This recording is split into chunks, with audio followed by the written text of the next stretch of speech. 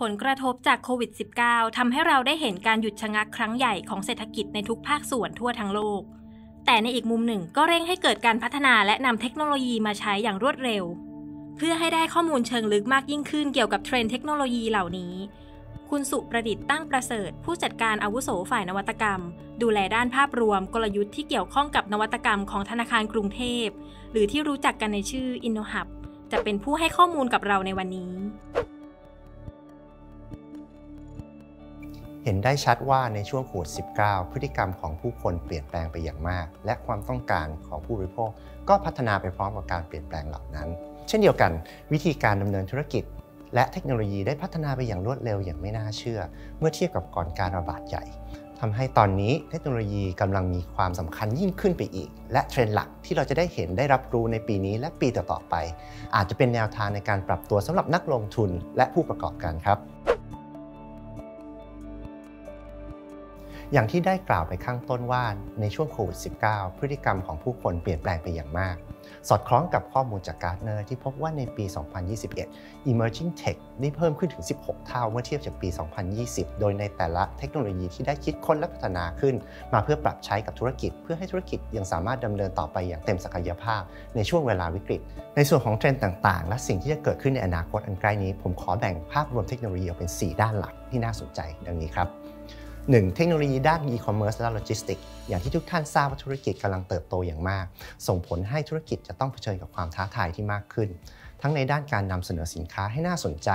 การให้บริการที่น่าประทับใจ และการจัดส่งที่รวดเร็ว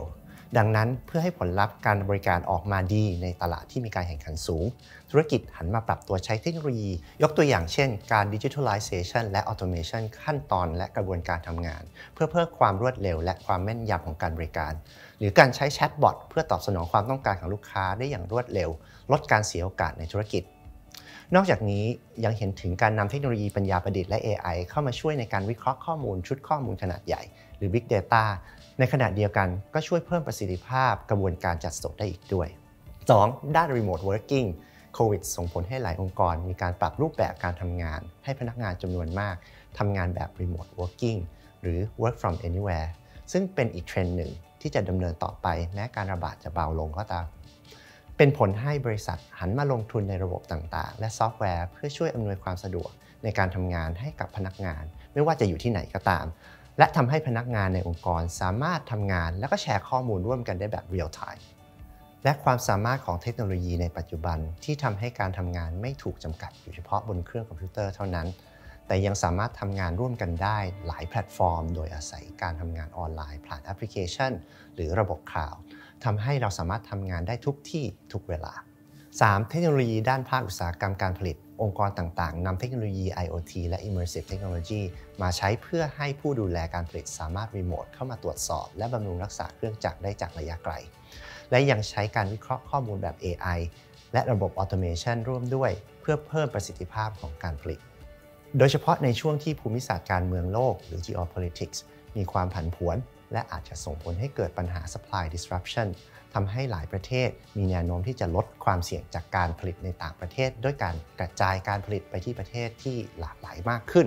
ดังนั้นความสามารถในการปรับตัวและเร่งพัฒนาเทคโนโลยี อาจทำให้ภาคการผลิตไทยได้รับประโยชน์ และก็ช่วยในการดึงดูดบริษัท และนักลงทุนจากทั่วโลกได้ 4. สุดท้ายในส่วนบริการทางการเงินและการธนาคารต่างๆ ที่กำลังเข้าสู่บริการทางดิจิทัล ส่งผลให้หลายองค์กรในอุตสาหกรรมนี้หันมาลงทุนมากขึ้นกับเรื่อง Cyber Security และความปลอดภัยของข้อมูลลูกค้า รวมทั้งยังพัฒนาระบบ AI เพื่อให้สามารถบริการลูกค้าได้ดียิ่งขึ้นอีกด้วย นอกจากนี้กระแส digital transformation ได้เข้ามามีบทบาทสำคัญในกลุ่มธุรกิจธนาคารและธุรกิจตลาดทุนในช่วงหลายปีที่ผ่านมา ตลอดจนธนาคารแห่งประเทศไทยได้ปรับกฎเกณฑ์ เพื่อเอื้อให้สถาบันการเงิน สามารถให้บริการผ่านช่องทางดิจิทัลได้ง่ายขึ้น ส่งผลให้ทั้งผู้บริโภคและผู้ประกอบธุรกิจการเงิน สามารถปรับตัวเข้าสู่ยุคดิจิทัลได้อย่างรวดเร็ว ดังนั้นธนาคารต้องเปลี่ยนผ่านการบริการด้านการเงินในรูปแบบเดิมๆ มาเป็น digital bankingเพื่อให้ลูกค้าเข้าถึงบริการและการทำธุรกรรมได้ง่ายยิ่งขึ้นไร้รอยต่อมากที่สุดเท่าที่จะเป็นไปได้ ปฏิเสธไม่ได้ว่าดิจิทัลเข้ามามีบทบาทสำคัญกับชีวิตผู้คนมากขึ้น ผู้คนในปัจจุบันคุ้นชินกับการทำธุรกรรมผ่านโทรศัพท์มือถือ เหตุผลเพราะว่าง่าย สะดวก และทำได้ทุกที่ทุกเวลา ไม่เพียงเฉพาะแต่กับประชาชนคนธรรมดา แต่รวมถึงภาคธุรกิจที่จะปรับตัวเข้ามาใช้ digital platform กันเพิ่มมากขึ้น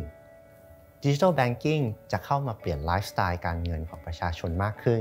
ช่วยสนับสนุนการเข้าถึง และการทำธุรกรรมทางการเงินให้ง่าย ไม่ว่าจะเป็นการฝากถอนจ่ายบิลต่างๆ หรือแม้กระทั่งการให้สินเชื่อออนไลน์ หรือ digital lending ที่จะช่วยแก้ปัญหาการเข้าไม่ถึงแหล่งเงินทุน โดยเฉพาะกับกลุ่มคนที่รายได้ไม่ประจำซึ่งคนกลุ่มนี้มีสัดส่วนขนาดใหญ่ในประเทศไทยด้วย นอกจากนี้ก็จะมีการทำธุรกรรมต่างๆ ที่แต่ก่อนจะต้องเดินทางไปที่สาขาเท่านั้น แต่เมื่อมีดิจิทัลแบงกิ้งผู้บริโภคสามารถทำได้ด้วยตนเอง ผ่านโทรศัพท์มือถือ ลดการเดินทาง และการกรอกเอกสารต่างๆ ในอนาคตอันใกล้นี้เราน่าจะได้เห็นนวัตกรรมเทคโนโลยีใหม่ๆ ที่จะเข้ามาเป็นฟังก์ชันการใช้งานของดิจิทัลแบงกิ้งที่จะตอบโจทย์ของผู้บริโภคได้ดีมากยิ่งขึ้นไปอีกครับ